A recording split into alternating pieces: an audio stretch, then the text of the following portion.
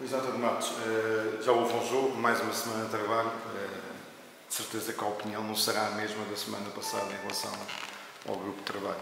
Não, obviamente nesta fase, felizmente, felizmente que há progressos eh, de dia para dia. É, há uma resposta que tem sido muito boa da parte dos jogadores.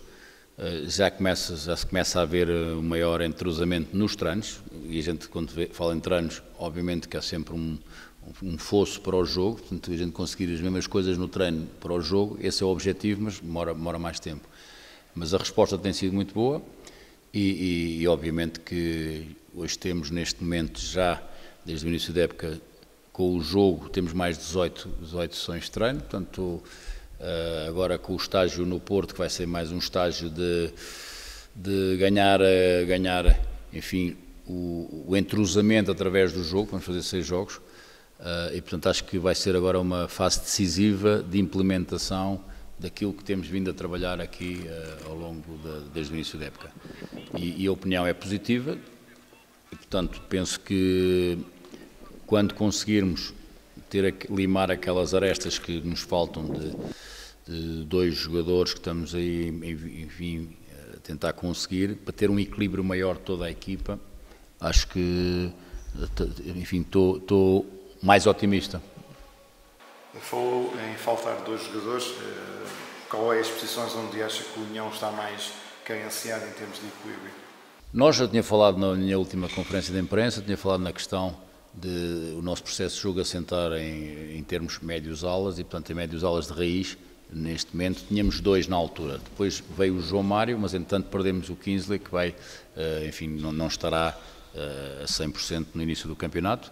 Portanto, como sabem, vai, ser, vai, ser, vai haver uma intervenção cirúrgica uh, e, portanto, o Kingsley uh, atrasou um bocadinho esse processo.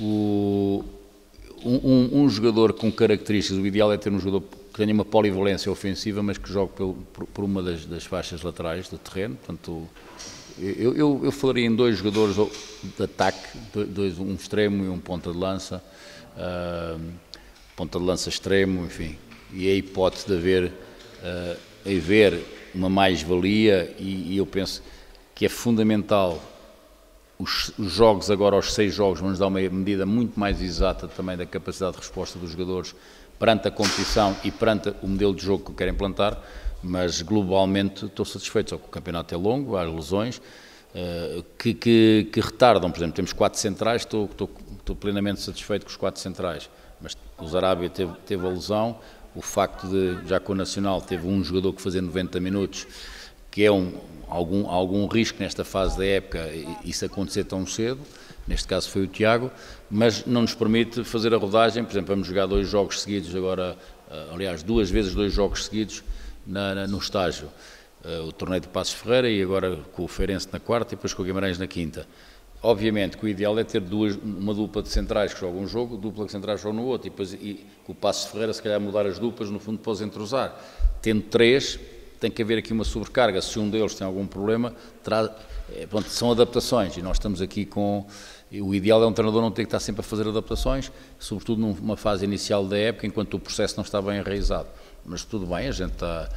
Temos, temos, eh, enfim, todos os treinadores têm também os seus problemas, e aqui está uma grande concentração no trabalho e, creio que temos tempo, também não é preciso estarmos com, enfim, demasiado ansiosos, temos tempo porque sabemos que a qualquer momento podemos ter o plantel exatamente como, como o delineamos.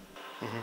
Caleb, uh, Moro e o Ayrton são jogadores que vão para estágios, são jogadores que lhe agradam, são jogadores que podem ficar ou Sim, em princípio estou, a vê-los. A, minha, missão aqui é, é, o, como sabe, o Ayrton tinha já uma relação aqui com, com o União, é um jogador que, que, pela idade que tem, pelo potencial, é um jogador que pode ser interessante, está a dar uma resposta, vou vê-lo no estágio e depois vou tomar uma decisão, tal como o, o Sofia. Uh, portanto, são jogadores que, como, como digo, enquanto se o plantel estiver fechado, não há hipótese de haver aqui jogadores que possam vir. Neste momento, até é importante nós podermos, ter, enfim, que eles, com o entusiasmo deles, nos possam ajudar também a, a, a ter a equipa equilibrada para, para, jogos de treino. Qual é primeira vai seguir para estágio? Eu não sei, a gente vai definir tudo a, portanto, a, entre hoje e amanhã quem é, quem é, que, vai, quem é que vai para estágio.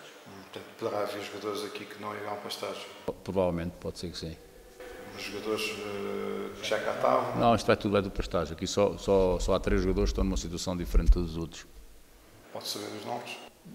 São jogadores que não têm contrato. Em relação uh, à equipa ainda, uh, dentro daquilo que você viu, uh, acha que quando chegar à altura do campeonato, agora com estes jogos, a equipa vai ter uma resposta positiva? Não tem. O facto de virem jogadores, não ter o plantel completo? Há, há, duas questões sempre importantes. Que a equipa vai dar uma resposta positiva em termos de atitude, em termos de jogo, em termos de, enfim, de algum entrosamento, não tenho dúvidas nenhumas que sim. Isso é diferente do resultado. A gente vai jogar, eu, eu, e é a minha filosofia. Nós não temos a obrigação de ganhar os jogos todos, mas temos a obrigação de jogar para ganhar todos os jogos. Ora, como sabe, o jogo é um, é um conjunto de circunstâncias que determina muitas vezes um resultado. Mas que nós estamos confiantes, que eu estou confiante, e estou. Apesar de tudo, obviamente que preferia ter já toda a equipa fechada e estar tudo já, enfim, estamos a, a, praticamente a um mês do primeiro jogo, mas uh, as outras equipas também estão num processo de aceleração também de, enfim, de, de, de suas, dos seus mecanismos, mas eu não tenho dúvidas que nós vamos, a, vamos entrar no campeonato e, e, estou confiante que esta equipa vai entrar no campeonato para cumprir o objetivo que se propõe, que é a manutenção. Isso não tenho dúvidas nenhumas. Agora, às vezes, depende, a equipa pode... pode eu sei que a pré-época e por isso é que a pré-época para mim tem uma grande importância, não nos resultados, mas mesmo nos processos porque vou continuar a. Eu quero que nenhum jogador se sinta pouco à vontade se tiver que jogar. Isto é, se o processo é igual de treino para todos, se eles jogam nos jogos de treino, se há duplas diferentes, não, a equipa não se ressente se um não joga e joga o outro, porque é igual para todos. Portanto, não defini, nem defino nunca, nunca foi o que eu fiz, definir a equipa a um mês, já tenho, tenho ideias na cabeça, sei, sei as respostas que tenho, tido, e agora, como lhe digo, Talvez, talvez não, de certeza, no dia 3 de agosto, quando estiver aqui uh, vindo de estágio, estou muito mais, eh, enfim, aí, muito mais seguro, muito mais, uh, enfim, esclarecido em relação a, a, qualquer jogador, porque agora é competição. Embora seja jogo de treino, já é uma competição, já é uma resposta competitiva que, que é fundamental.